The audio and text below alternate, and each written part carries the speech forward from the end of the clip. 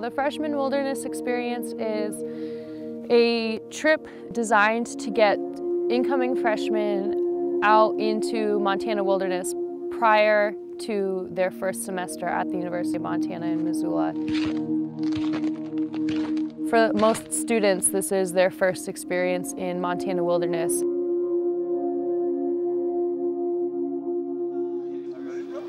One, two, three. As leaders want to make sure that we're establishing a really good first interaction with the wilderness and, and make sure that they know how to take care of it and how to have this symbiotic relationship with the wilderness. Feeling a little more wild is always a good thing. Now that I'm actually here, it's nothing but moving forward.